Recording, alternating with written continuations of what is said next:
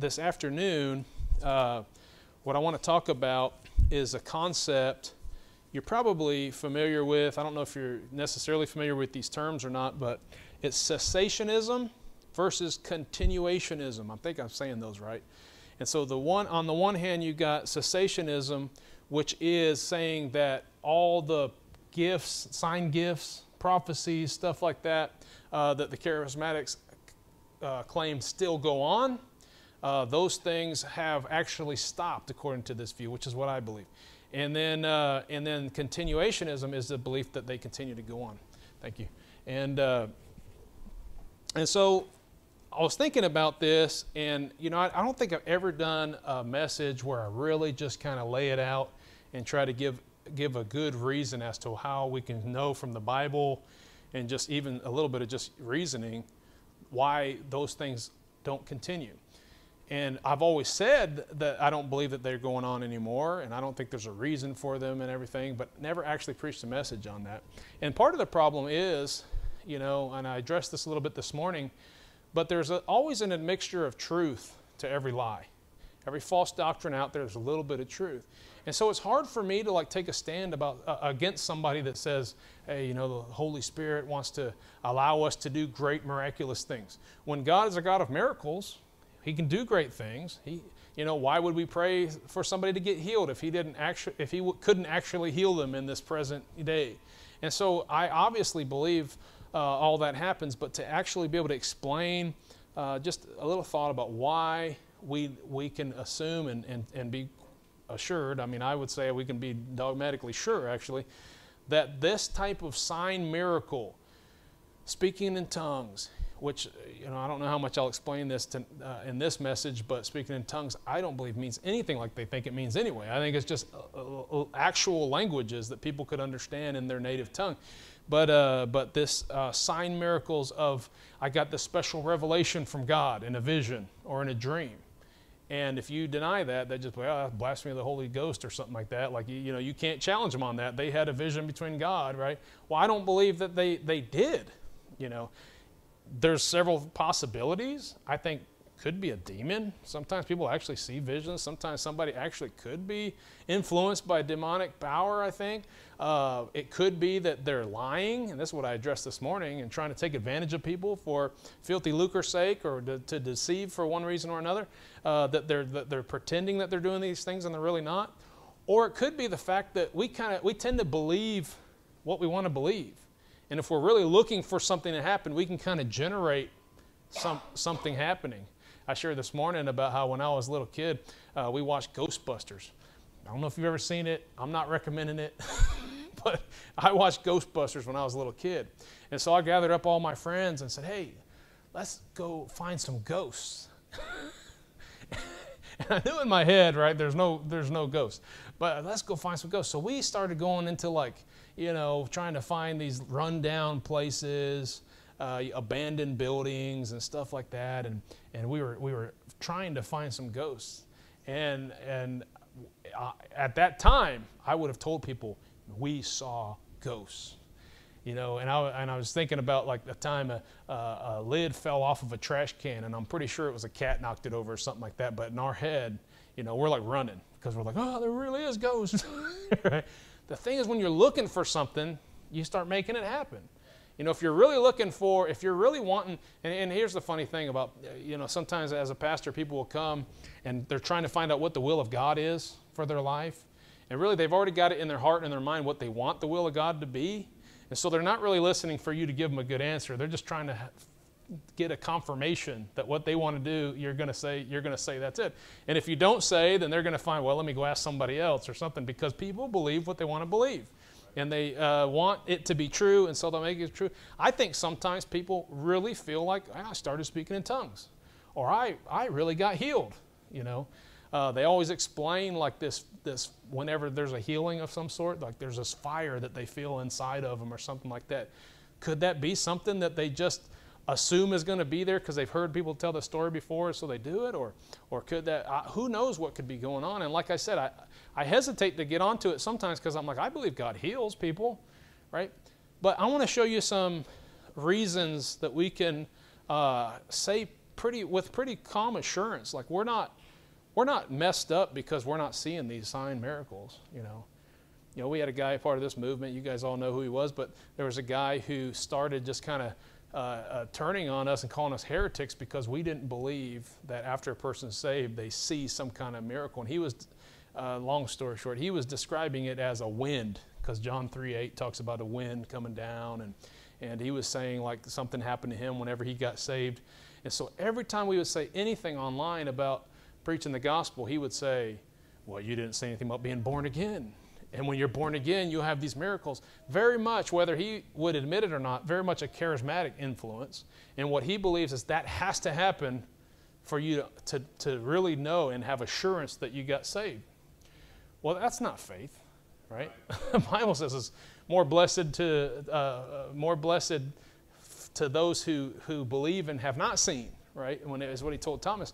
And so, uh, so really, I mean, even if that was a case, this person got saved, and didn't have anything experience, any kind of experience, this person got saved. Let's say he did have an experience. I believe this person would have a stronger faith than that person because he didn't need a sign to be able to, to prove that. But you can't just use that type of reasoning. Right? We want to know what the Bible says and, and give a better answer than that. But, uh, but so I'm going to show you four things, really, four points that I think will help us understand cessation, cessationism.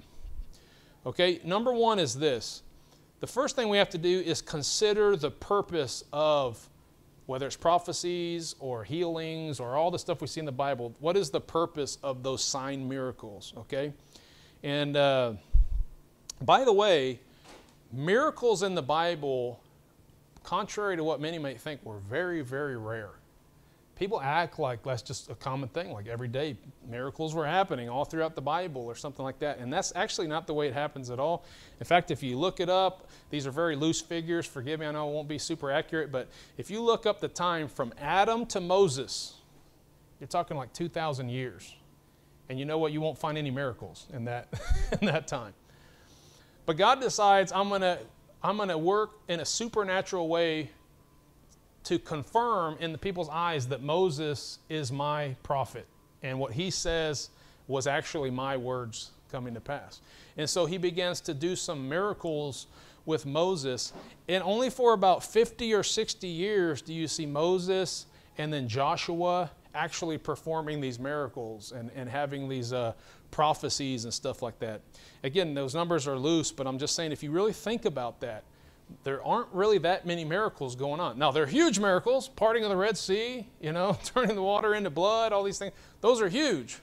Which, by the way, those aren't really the kind of miracles you see today whenever people say, claim that they saw some great miracle. Like, where's the proof? I mean, give me a picture with today's modern technology. Give me the proof that some of these things happen, right?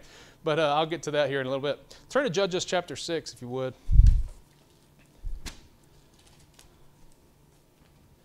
Judges chapter 6. Now we're entering the time of the judges. And in verse 13, he says, And Gideon said unto him, O my Lord, if the Lord be with us, why then is all this befalling us? And where be all his miracles which our fathers told us of, saying, Did not the Lord bring us up out of uh, up from Egypt? But now the Lord has forsaken us and delivered us into the hands of the Midianites. I just feel like there would have been a lot more for him to say if miracles were just happening all the time rather than going back to Moses and saying, What about all this? All these miracles our fathers told us about. You know, where are those miracles? You can tell it wasn't happening all the time, right? So here's a long period of time that goes on without any miracles. Uh, and then, really, from like Elijah up until Jesus comes, you don't really see miracles.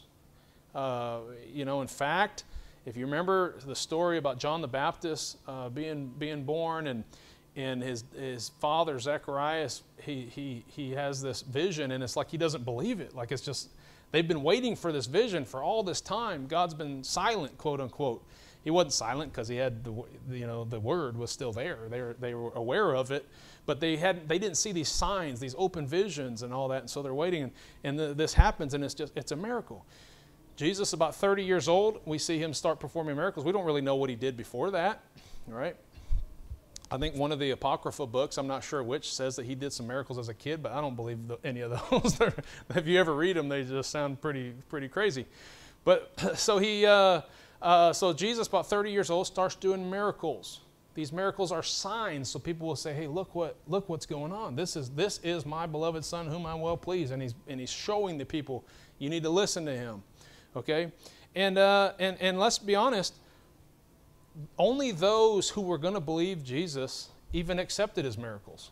I mean, how many of the people still denied Jesus even though they saw the miracles? They're thinking, "Oh, he must be deceiving us" or something like that. Yeah.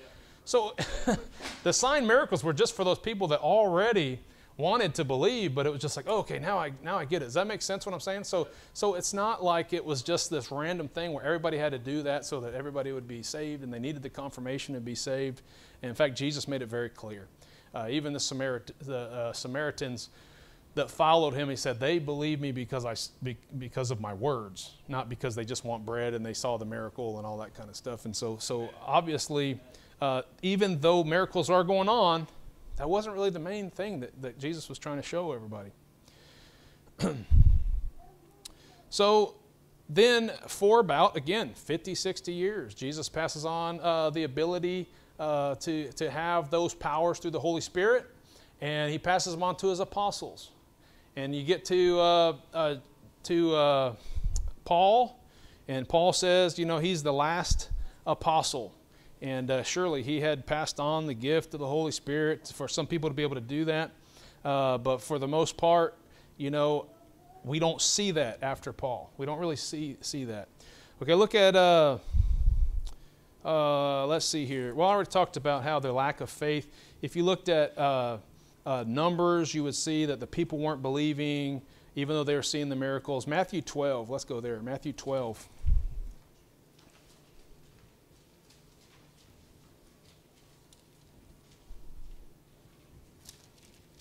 Matthew 12, verse 39. But he answered and said unto them, An evil and adulterous generation seeketh after a sign, and there shall be no sign be given to it but the sign of the prophet Jonas. For as Jonas was three days and three nights in the whale's belly, so shall the Son of Man be three days and three nights in the heart of the earth. You know, really, that's the only sign we need is that Jesus rose from the dead. Oh, where's the proof of that?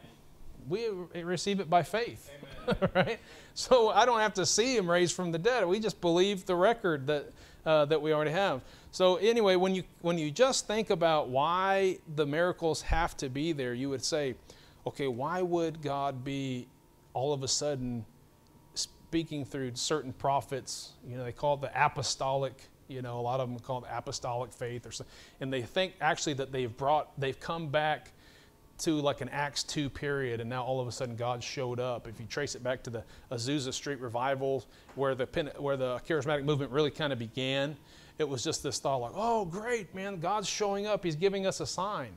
So that kind of even shows that they understood, like this was like a rare thing. Not everybody was doing that. And so they think, oh, God's showing up. So why would he be showing up to speak to them, right? What would be the significance? What's God trying to show them? Well, some of them say, and I didn't really realize this until uh, Brother Justin and I were talking, and then I think you brought it up with one of the guys uh, that we interviewed about prophecy and what was the purpose of the prophecy. And they said something about forerunners. And he said, well, John the Baptist was a fore, forerunner of Jesus. And so I think if you follow that out, what they're saying is they are forerunners of Jesus coming. And so what they're saying in essence is the reason God is showing up with all these miracles and signs and for this generation is because we're ushering in Christ's coming. We're a forerunner of Jesus Christ coming. So again, it's not like all throughout time people did miracles and so we naturally should be able to do miracles too. What they're saying is that something special is happening and God gave us the ability to do miracles and see all these signs because he's trying to speak to us. Well, I think probably if you really follow it out, God's not speaking to most of these guys. All right. But something was different after the apostles, okay? And we read this with the end of John's uh, writings in, in Revelation 22. Something that ends after John seems very significant. Revelation 22.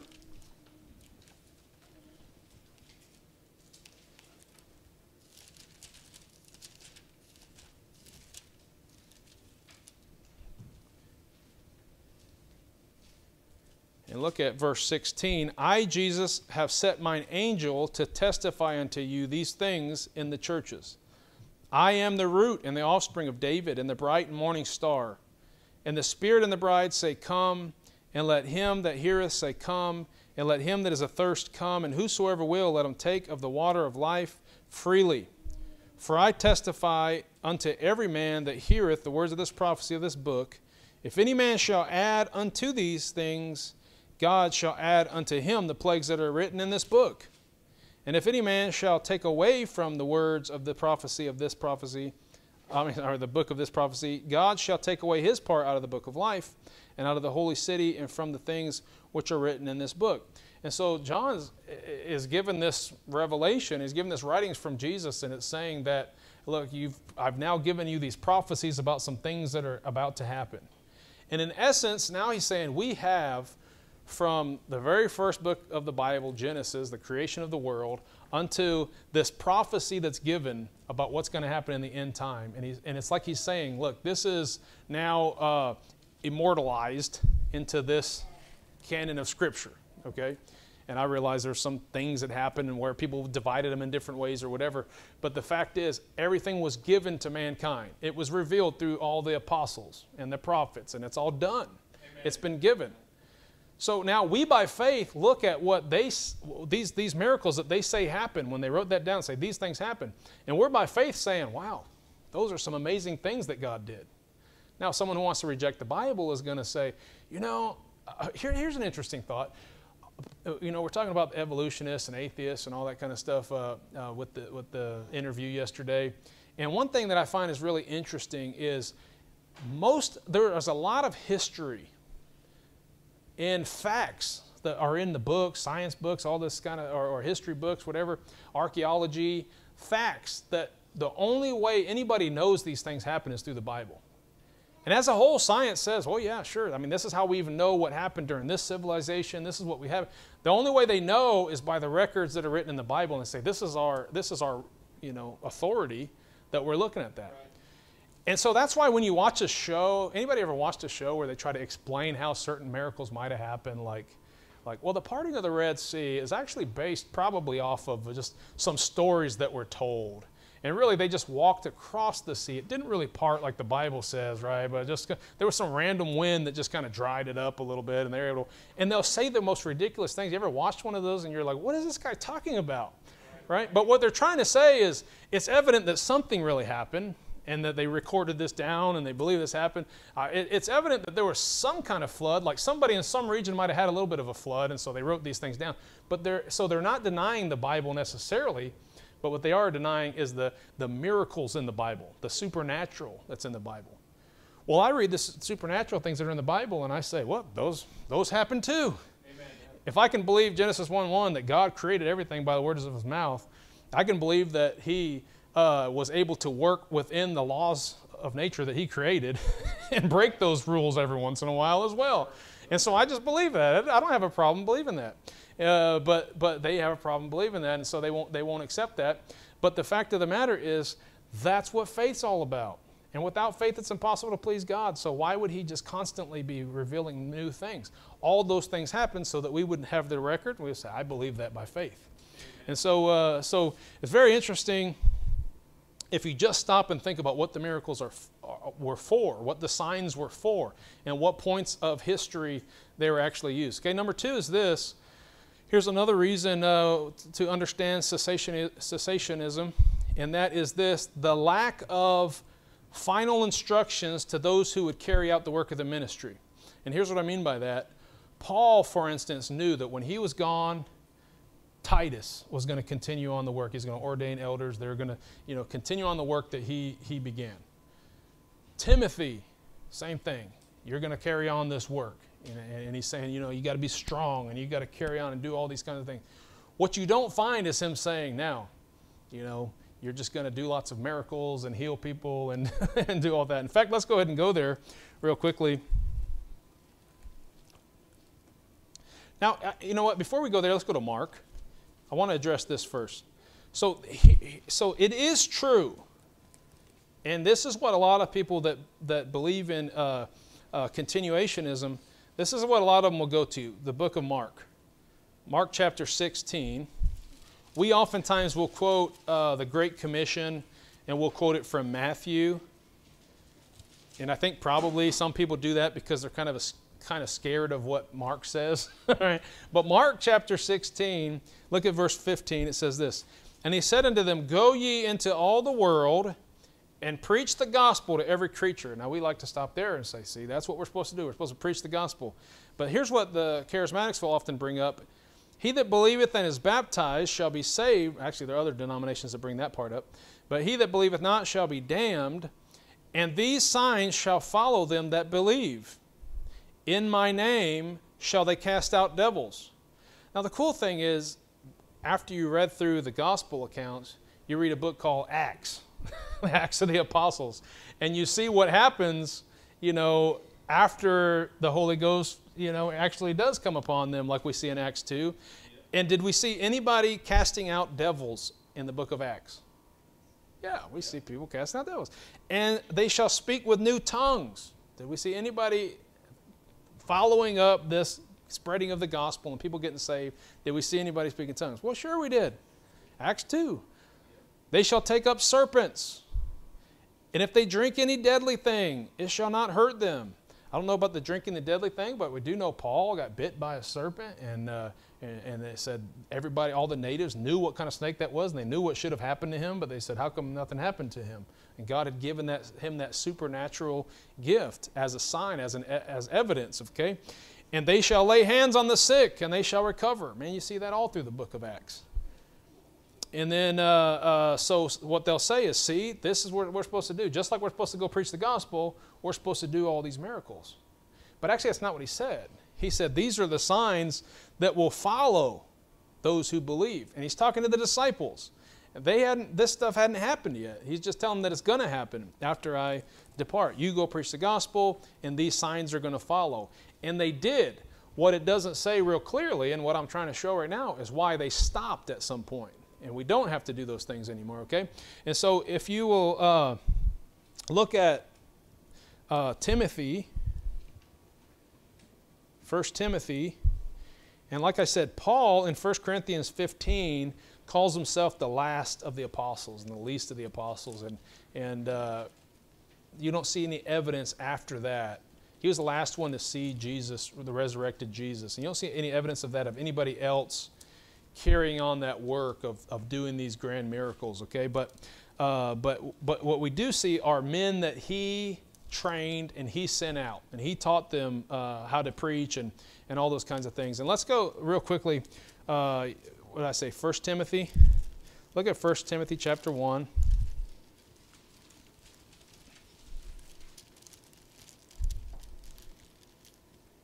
Come on.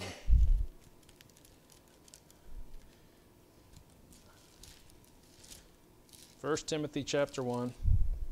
And look at verse 1 through 7. Paul, an apostle of Jesus Christ, by the commandment of God our Savior and Lord Jesus Christ, uh, which is our hope, unto Timothy, my own son in the faith. Grace, mercy, and peace from God our Father and Jesus Christ our Lord. As I besought thee to abide still at Ephesus when I went into Macedonia, that thou mightest charge some that they teach no other doctrine Neither give heed to fables and endless genealogies, uh, which minister questions, ra- rather uh, than godly edification, which is in faith. So do. Now, the end of the commandment is charity out of a pure heart, and of a good conscience, and of, unfeigned, uh, and of faith unfeigned, from which some, having swerved, have turned aside unto vain janglings, desiring to be teachers of the law, understanding neither what they say nor whereof they affirm. You keep reading through this, and you see that he's all ta- he's talking about people that don't have understanding, and he's saying you need to have understanding, and you need to be able to convince them that they're wrong, and you need to be strong in the faith, and you need to be able to uh, uh, uh, not make sure people don't teach other doctrines.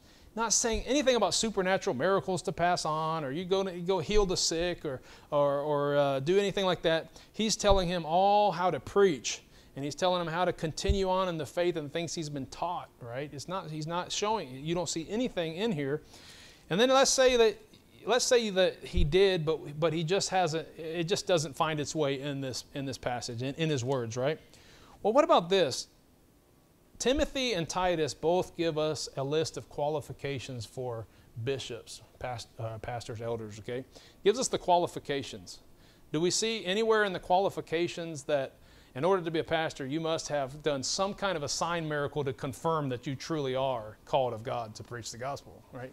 You don't see that. You don't see that anywhere. Let's look at, uh, uh, what is it? Uh, 1 Timothy 3. 1 Timothy 3 This is a true saying if a man desire the office of a bishop, he desireth a good work. A bishop then must be blameless, the husband of one wife, vigilant, sober, of good behavior, given to hospitality, apt to teach, not given to wine, no striker, not greedy of filthy lucre. That's where a lot of the guys that are doing miracles are, are that's, I think, the real motivation, filthy lucre. But patient, not a brawler, not covetous one that ruleth well his own house, having his children in subjection with all gravity. For if a man know not how to rule his house, how shall he take care of the church of God? Not a novice, lest being lifted up with pride he fall into the condemnation of the devil. Moreover, he must have a good report of them which are without, lest he fall into the reproach of and the snare of the devil. Likewise, must de- deacons be grave, and you go follow this list. You're not finding anybody that's told that by the fact that they're doing signs and miracles, is that going to be some kind of uh, sign or symbol that they actually have received the Holy Spirit? Okay? Uh, again, we can go to Titus 1 1 through 10 and, uh, and see the same thing. Let's just go ahead and read it.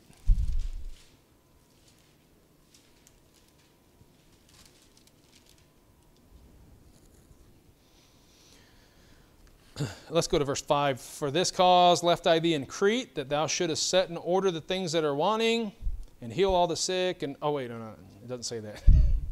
Ordain elders in every city, as I appointed thee. If any be blameless, the husband of one wife, having faithful children, not accused of riot or unruly, for a bishop must be blameless as a steward of God, not self willed, not soon angry, not given to wine, no striker, not given to filthy lucre but a lover of hospitality, a lover of good men, sober, just, holy, temperate, holding fast the faithful word as he had been taught, uh, that he may be able by sound doctrine both to exhort and convince the gainsayers. He doesn't have to prove through miracles, he needs to convince them, right? And so this is why it's so important uh, that they that you know that they understand uh, the, the truth of God and that they, they, they use sound wisdom. And actually, it's the opposite of what they say. Uh, I, I, love the verse in Colossians uh, or in Ephesians 6 it says, Be not drunk with wine wherein is excess, but be filled with the Holy Spirit, right? I think that's a, it's making a parallel. You got, on one hand, someone's drunk with wine. On the other hand, you got somebody who's actually, if you look up Colossians, it's saying you're exhorting one another, psalms, hymns, spiritual songs. You're making sense, you're understanding what you're saying, right? All throughout the Bible. Have a sound mind, be sober. It's telling you just be in control of your thoughts, be in control of what you do. Well, somebody that just starts blabbering, like speaking in tongues, just all of a sudden, they're not in control of themselves. They're not being of sound mind.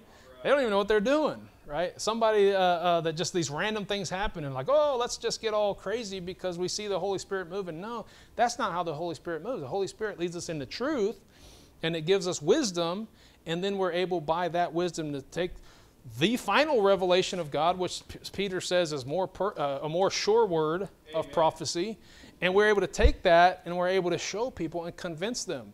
And you know what? The ones that are going to say, "No, no, no, I need to see a sign," they're not going to they're not going to believe even if they did see a sign. Right? They already have their minds made up. So the first thing was the if consider the purpose of the gift. Second thing is there's a lack of instruction to those who are passing on. Uh, you know, like like Paul, passing on uh, the final instructions of those who carry out the work of the ministry. Number three, this is this is really simple. So you know, I'm not going to spend a lot of time in this. There's a lack of clear evidence that these things are happening. I already covered that a little bit. Like there's a lack of evidence. Now people can say, "Oh no, we all saw it. We all saw that person, you know, was healed right before our eyes." But we live in a day and age with technology. I mean, look, there's two cameras going on right now. Somebody might be recording. I mean, we live in a day and age where if something supernatural really happens, I mean, let me, let me uh, I don't I hope I'm not bursting anyone's bubble. Bigfoot's not real, people. Do you know that? You know how we know Bigfoot's not real? Because there's no evidence of Bigfoot. no substantial, uh, I hope I didn't make anybody mad by that. there's no substantial evidence. with all the technology we have, people would see Bigfoot, all right? So then you got people saying, oh, there's UFOs. Well, you might be able to show me a couple pictures that something look, might possibly look like a UFO. But you mean to tell me they can catch pic, they can get everything on camera, security cameras, everything's running all the time. They get everything on camera, and you can't really prove this. Then, then you know you don't really have a case. So all these guys that get up there with hundreds of thousands in the auditorium, and I, I, I picked on uh, uh, Benny Hinn this morning because he's one of the guys that I hate the most. I mean, he, he just uh, uh makes me so mad and really kind of creeps me out when I watch him. But, uh, but he, he will take these people and deceive them, and you can just read right into it and see like he's studied people. He studied illusions and he studied how to uh, maybe even hypnotize people. And, he, and it's so sickening, it makes me mad. But you got hundreds of thousands of people out there, and you know, people will come out of that, and thousands of those people, at least thousands, will say, Man, we watched him heal people today. But, you know, we live in an age where people say, I want proof. And so a lot of people have followed up after them. There's documentaries out there. You can see it for yourself. They've went and interviewed those people that say, oh, yeah, there was a miracle. There was a miracle.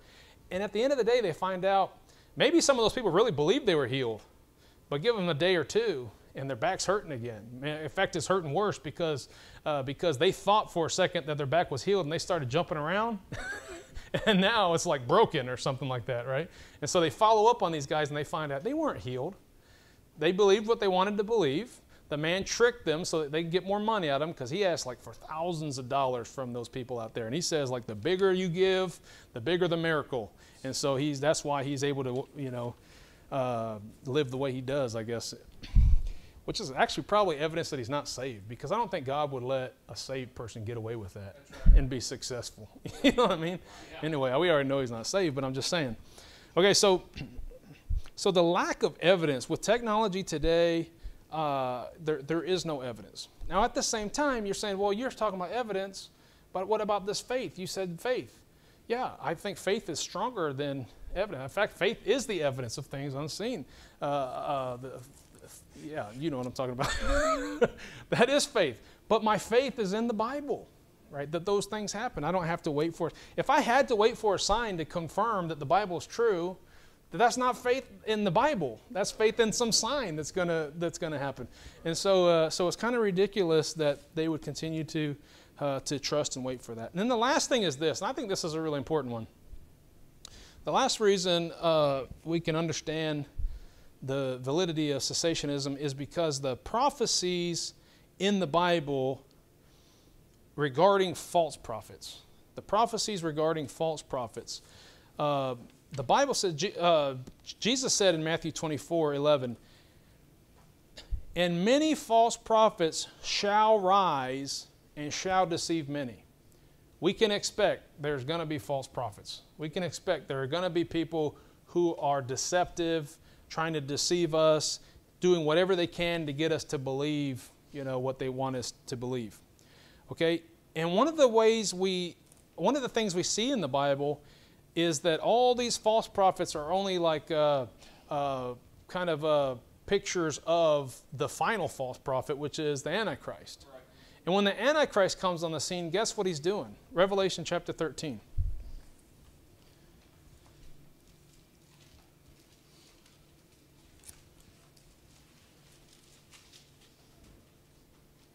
Revelation 13, verse 14.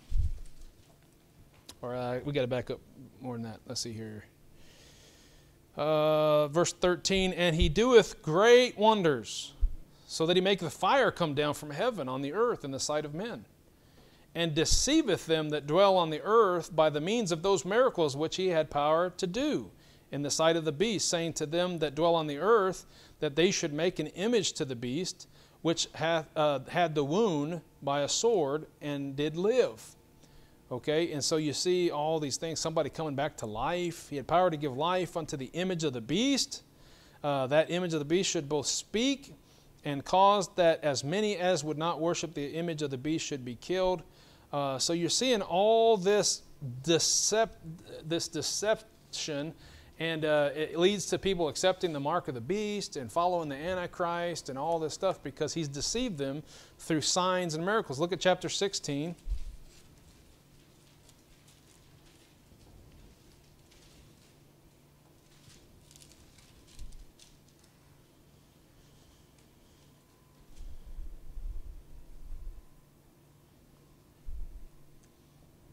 Actually, I don't think that's it. I'm not sure what I was going at. Look at 19. Revelation chapter 19.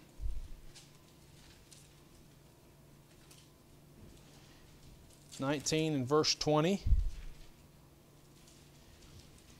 And the beast was taken, and with him the false prophet that wrought miracles before him, with which he deceived them that had received the mark of the beast, and them that worshipped his image. These both were cast alive into the lake of fire, burning with brimstone. So you see this prophecy Jesus made that there shall be, there will be false prophets. So we can expect that. And then we see that in the very end, there's going to be a false prophet who is, is convincing the whole world through miracles and signs and all this to believe in him and trust in him. So I'm thinking as a Christian, reading these final words in the Bible in Revelation and knowing what we know and all the things that we just covered, wouldn't you be more likely to believe that somebody, if they, whether, whether it's real miracles or fake miracles or demonic uh, influence miracles, that that's more likely to show you that they're a false prophet, right? By the fact that they're doing these miracles, they're probably they might possibly be trying to trick you, and they're and they're saying in many cases that those are like uh, uh, their proof that even if they say something that contradicts the Bible, they're like, well, yeah, but what about these signs and these miracles? What about these prophecies that were made? And we are supposed to trust that. Well, I'm thinking, no, I'm supposed to trust the Bible. And probably, if anything, that's evidence that these people are actually trying to deceive you for some reason. They're trying to probably love of money, which is the root of all evil. Probably trying to get money from you, so they're trying to deceive you. They're trying to trick you. And so look at let's conclude in Matthew again, as we already read at the beginning of the sermon, Matthew chapter seven.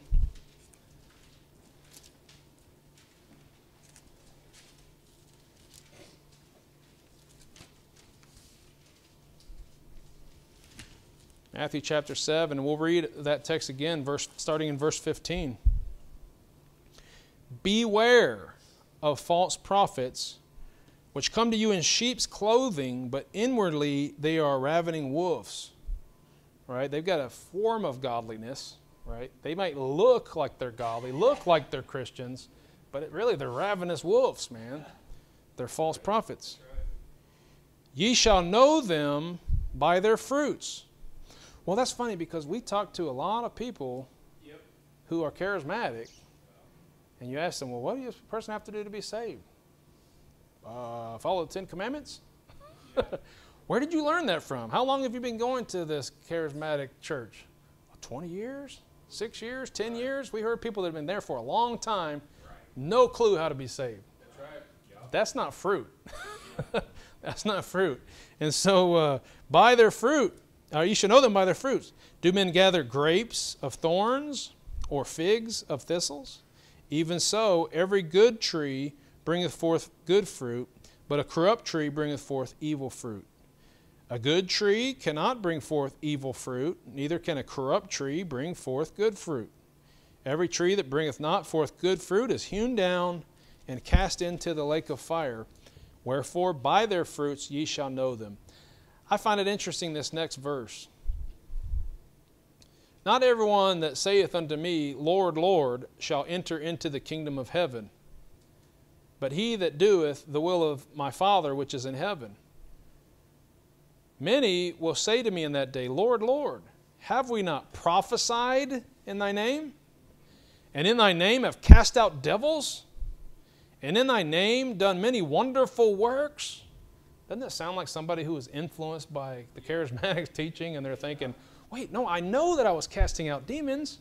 I know that I was doing many great works in the name of Jesus. And then will I profess unto them, I never knew you. Depart from me, ye that work iniquity. I find it so strange that people actually act like, well, you can't just accept the Bible and accept Jesus Christ and be saved. Because many in the last day will say, Lord, Lord, and he'll say, Depart from me. I never knew you. And what they're saying is, you can't just have faith, you got to be able to do all these works too. And I'm like, Did you even read that text? Because the text actually says people are trusting in those works, in those signs, in those experiences, in those feelings, and all those kinds of things. And they're saying, No, I'm saved. And he's saying, I never knew you. Right? Depart from me, ye that work iniquity. Work iniquity, what do you mean? I repented of all my sins and I turned over a new leaf and I and I accepted Jesus as my, my Lord. and they use all those words, but there was never any faith in there that trusted in the work that Jesus Christ did alone and said, I'm just believing it by faith. I don't need signs, I don't need miracles, I don't need any of that stuff. And uh, what a sad day that people will die and go to hell thinking that they've been doing good things for the Lord. I don't think every person that's influenced by the charismatic movement is wicked. I think they've been deceived. Yep. And we need to love them. We need to give them the truth and, uh, and, and expose the, the falsehood and the false prophets. Let's pray. Father, thank you for your word and the security that we can have in the word. And because we have security, security in your word, Lord, we have a blessed assurance that, uh, that we are saved. Uh, we do have eternal life. And No one can pluck us out of your hands, Lord. And does, we don't need signs and miracles to prove that. We believe the signs and miracles that are in the Bible, and we trust it by faith, Lord. I pray you help us get that message out to this world and all throughout Kansas City and Iola and anywhere we have a reach. Uh, Lord, help us to do that. I pray for the uh, this possible uh, film in the future that you'd bless it if it be your will, and you would give us the ability to uh, produce that so others will see it and souls will be saved by the, uh, by the efforts. Uh, Lord, we give you praise for all that you've done. Uh, we love you and we thank you for it in Jesus' name. Amen.